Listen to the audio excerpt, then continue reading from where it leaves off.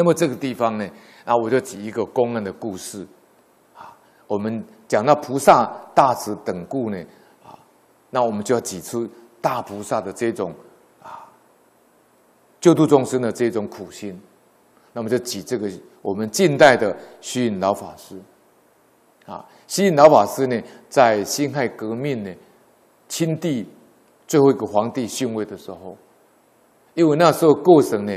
啊，都发生一些把出家人赶出去佛寺，甚至寺庙被毁的情形。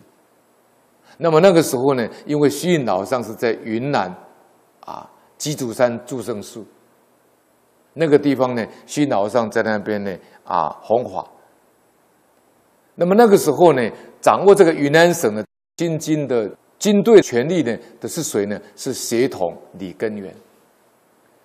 这个李根源呢？非常痛恨呢，啊，各方的僧徒呢不守戒律。你看，这个老法师说戒律很重要啊，所以这个这个地方讲说，因为这个李根年认为这些出家的呢，他不守戒律，所以他就亲自呢啊带领这个军队呢赴诸山呢，到各山山上呢去祈祖这些出家人，甚至把佛寺拆掉了。但是当时因为虚云老和尚是在云南住生寺，他们有听到老和尚的名声，他们就觉得很奇怪：虚云老和尚是个穷和尚，为什么这样得民心呢？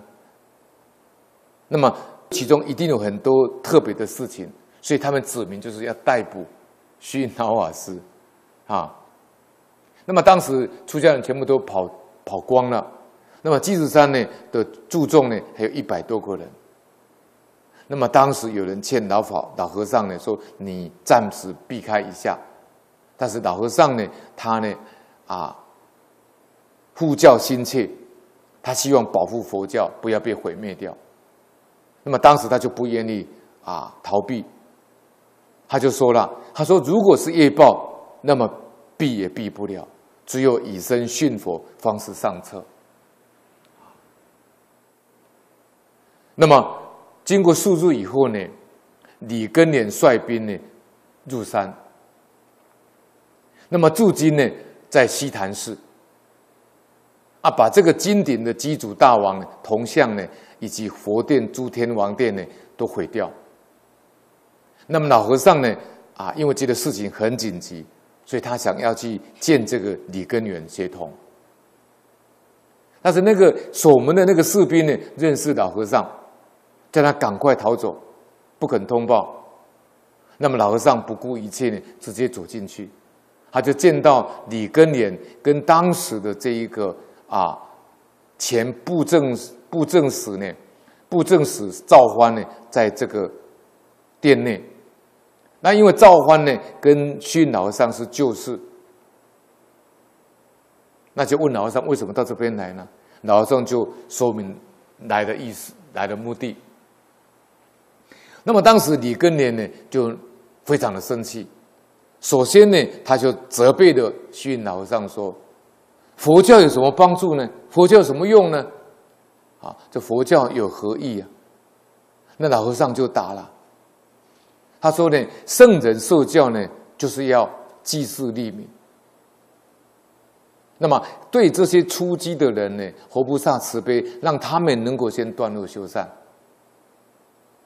那么自古以来呢，都是政教并行。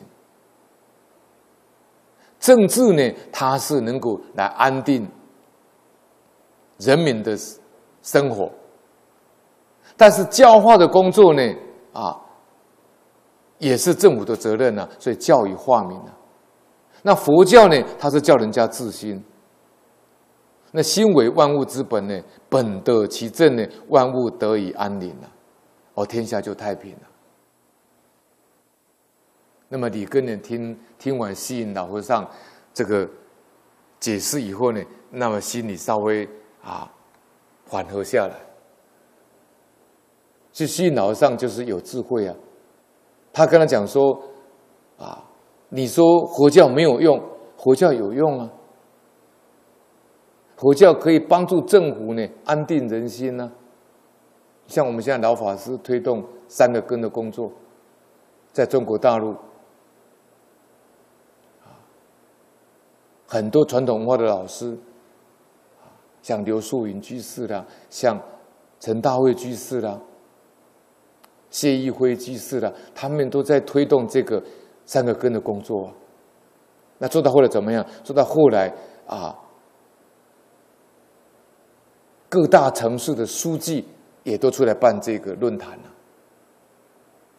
那这是什么？帮助政府安定人心、教化人心呢？那人心安定了，心为万物之本呢？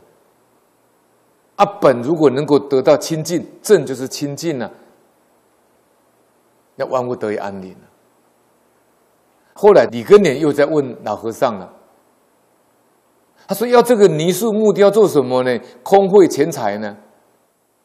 啊，那老和尚就跟他打了。答复了，老和尚说：“佛言法相呢，相以表法，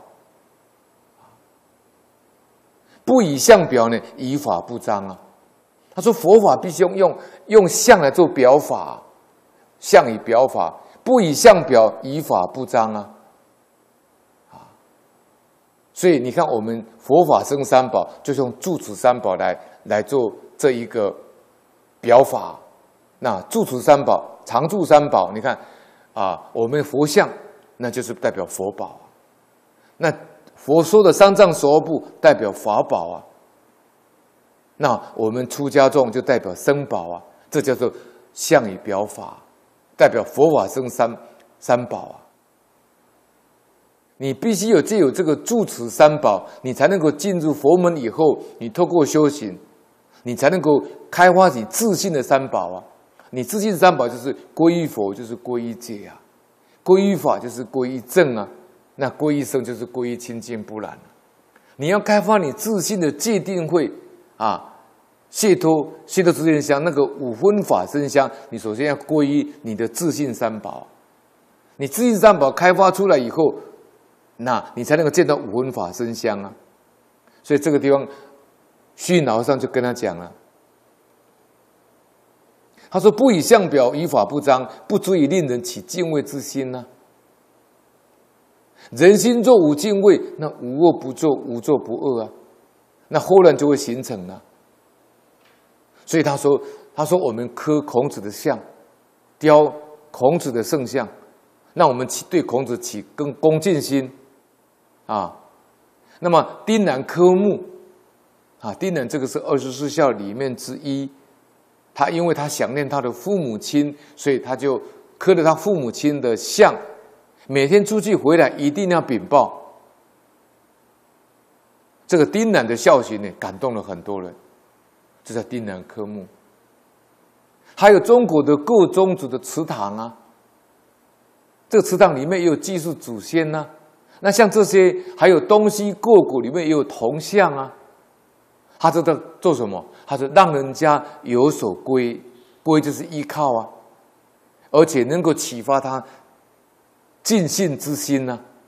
它的功效是不可思议啊。所以你怎么可以说佛像这些泥塑木雕有什么用呢？浪费金钱呢？对不对？啊，虚云老和尚就讲到这个，用世间法跟他解释啊，啊，然后呢，他说。讲到当最到就近的时候呢，若见诸相非相，则见如来嘛。那就不需要相了嘛，他已经开悟了嘛。如果能入不二法门，若见诸相非相，诸相就是有嘛，非相就是空嘛。能够见到空有不二，那就见到自信如来了，自信的自信佛了，那就则见如来了。啊，这叫若见诸相非相。这见如来。那么李根年听了了，虚老和尚这样讲完以后呢，哎，稍微有点笑容了，就叫左右拿茶点来，要等让老和尚等了很久，哈，就讲了两个两个两个道理给他听了，那么才才供养老和尚的茶点呢，哈。那第三个问题就问虚老和尚了，他说和尚都不做好事。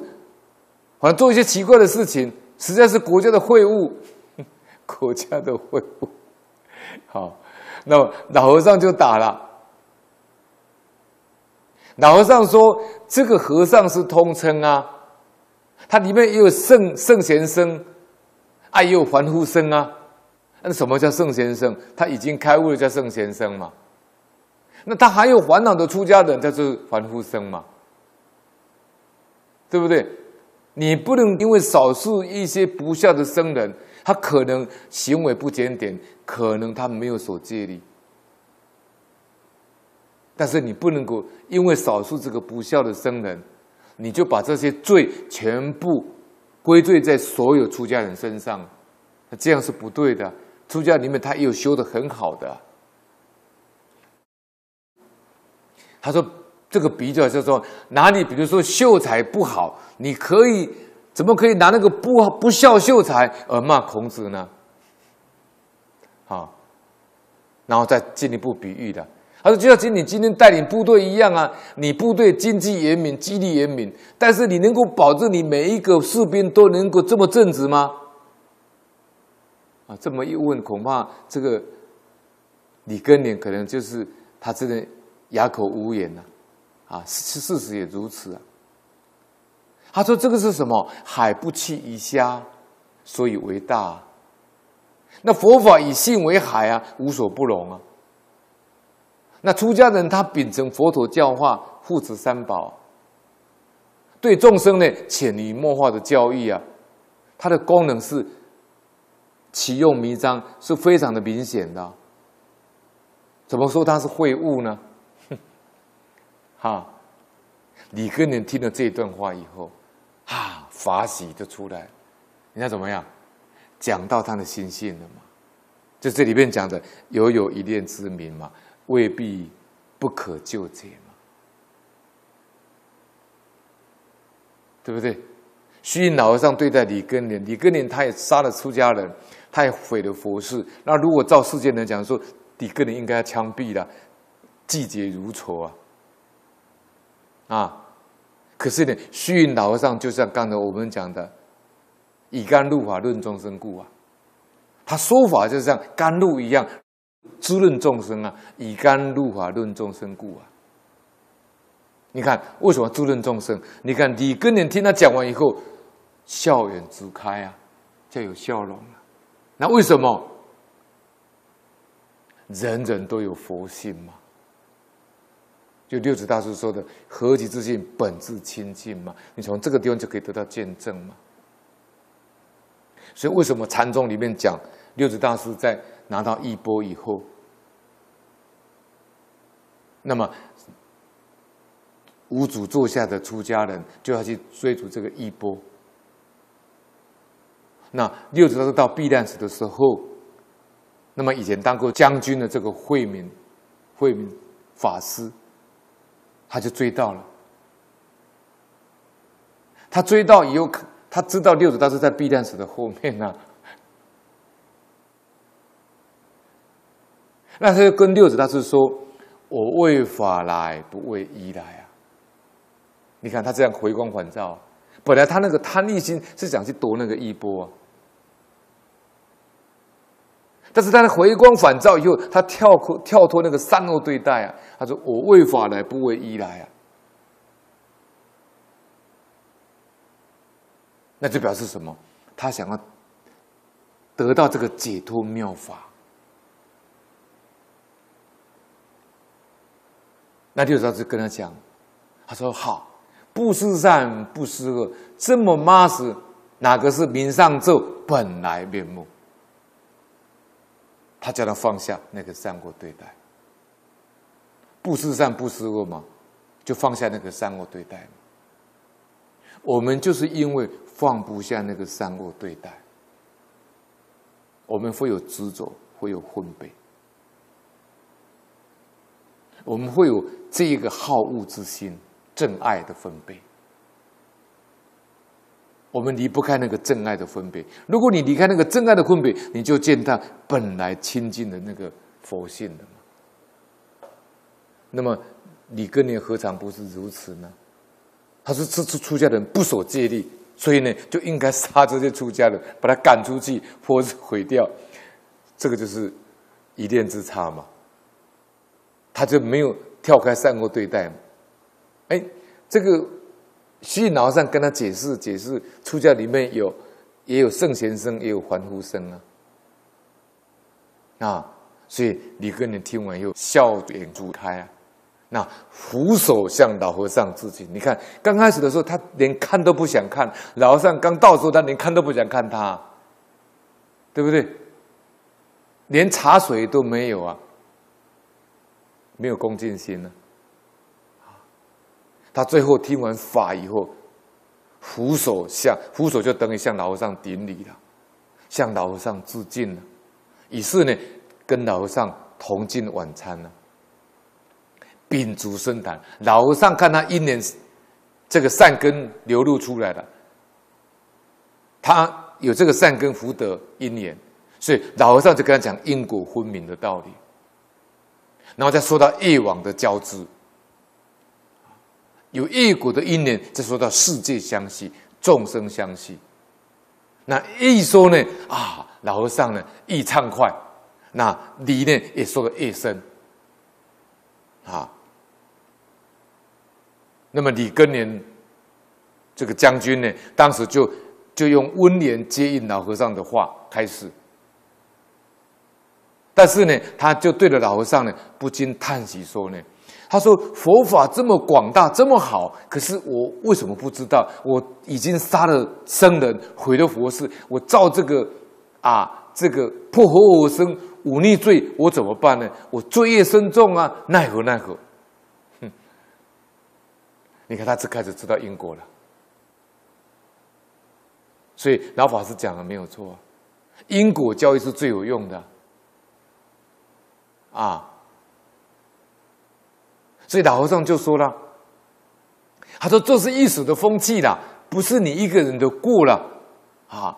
这是表示呢大慈等故了。我们刚刚讲菩萨有大慈等故啊，大慈悯心呢。他说你以后就是保护了，保护三宝了，那功德就更大了。李根年听完以后就非常欢喜呀。这是什么？去老上慈悲，给他给他有一个什么这个。”未必不可千金，给他有一个，这个他还有一念之明，还可以回头啊。所以李根年呢，后来就非常欢喜呢，就移居到移住到住住圣寺，跟着老和尚住在一起，也在那边也吃素了。嗯，后来呢，照这个记载里面讲，八月四号呢，山中忽然出现金光，山顶到。山脚下都有草木呈黄黄色的。那么相传呢，在祝圣寺呢有三种光，一个是佛光，二是银光，三个是金光。那佛光呢，年年都会有。那么银光跟金光呢，是开山以来呢只见过几次。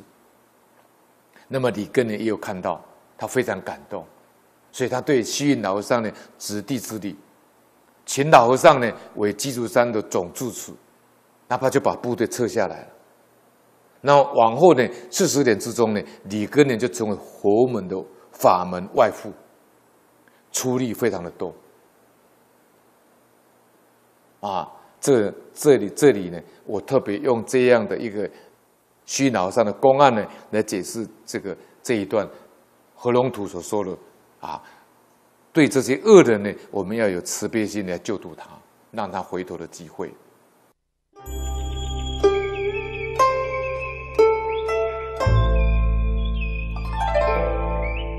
那我现在就举一个公案：实力供养，尽出贫穷，摘自华严竹林，实力出品。在文昌帝君殷志文广义节录里面有这一段故事。他说，在水草终南山有一位叫普安法师。他是一位得道的圣僧，他到人口稠密的地方弘法，大家就争着要设斋供养。有一天呢，他就来到大万村，刚刚有一位田医生的这位人家呢，家里很穷，家徒四壁。那他生四个女儿，那么大女儿叫华严，二十岁。这个华严，这位，这位。你众呢非常有善心，他呢想找东西来供养这位普安法师呢找不到东西，全部找遍了呢，只有找到两尺的初步。他想到自己这么贫穷，四贫如洗，无法作福，仰天长叹，看到这个屋顶，刚好呢，偶然之下看到屋梁上的空隙呢，还有一团乱河，就是稻米那个稻那个，我们割稻下来，连那个那个那个河啊，全部都留在那个地方，大概是要做种子。他取下来一看，找到十粒黄米，磨去。米糠，连同初步准备布施给这位普安法师，但是他低头看到自己衣不蔽体，不能够出门，那就利用黑夜，普普前往寺庙，把布呢摇至生黄，再把十粒米呢亲手放到饭桶内，然后他在那边默默祈祷。他说呢：“我因为前世兼贪，今世。”就受苦报，今在佛前哀求忏悔，以此微薄的礼物供养众生。如果我的贫穷易报从今已尽，愿饭桶中呢所蒸的饭都变成金黄色，然后就擦干眼泪回去了。第二天早上，人们看见那个饭锅中所蒸的五。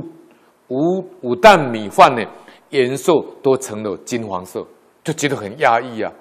然后不久就了解查知呢，知道是这位华严女士供养的，啊，大家非常的感叹。于是呢，地方上一些好心人士呢，就用财物接济他们。后来这位女子就出家学道了。你看，她真诚供养，她就得到这个福报。好。所以呢，如果你布施的时候能够以欢喜心送礼、恭敬心送礼、亲近心送礼、不忘回报的心送礼，那么所所送以人的人，正巧是菩萨或者是圣僧，那就好像在良田播种，下种虽少，收获非常的多，就这个道理。所以呢，虽然只有两尺布十粒米。但就田氏女来说，已经是竭尽最大的努力来布施了。那么前世的业报怎么可能不会消除呢？我们要学习这个华严女士的布施。你只要真发心，就像老法师刚开始学讲经，他老师李炳老师说你要学布施，他说我没有钱怎么布施？他说一块钱也没有，我一块钱有，他说你从一块钱开始。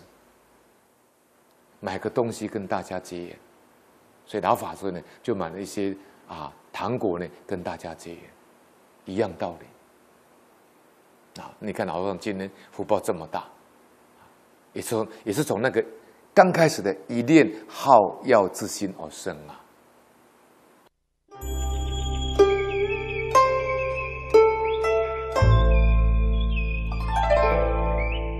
那我一个同学。我上次到屏东监狱去演讲啊，啊碰到我那个同学，屏东监狱的典狱长，他是基督教的。那基督教照理讲，对这些事情，他虽然基督教有讲第一呀，啊，但是呢，他们基本上就比较啊不相信这些东西呀。那他上去告诉我去演讲，他就跟我讲：“哎，柏林柏林，你知道吗？我们那个黄某某那个同学呀，我有个同学已经死去了，他当过典狱长。”他说：“你知道有一个有趣的事情。”我说：“什么事啊？”他说：“他死去的时候来跟他太太托梦啊，啊，说我们有个景大同学呢，跟他借了二十万块台币没有还呢，然后那个借条放在办公桌的抽屉里面呢。他跟他太太托梦啊，那太太也不知道这个事情，跟刚才这个陈老爷的儿子一样啊，那支票放在西装里面，他不知道啊。那我这个同学就跟我同学太太托梦啊。”他说：“你到我办公桌抽屉打开，有一张借条，台币二十万的借条，你可以拿出来。”结果他去办公室找，真的找到这张借条，然后去找我同学说：“哎，某某人呐，你是不是欠我们我先生黄某某一笔台币二十万块的借款没有还？”他说：“他不是死气的吗？”他说：“对呀，但是他才托梦啊。”我说：“哦，那我赶快还给你，赶快还给你，不敢欠死人的钱。”所以你说欠命的要还命，欠债的要还债，你债耐得了吗？对不对？你现在不还，你躲得了今生今世，你躲不了生生世世。啊，你躲不了来生他世。我这一次要不到，那我下次怎么办呢？我到你家去投胎当你的儿子，继承你的家产，不就全部都是我的了吗？是不是这样？文昌帝君阴字文里面，还有感应篇里面很多这种故事啊。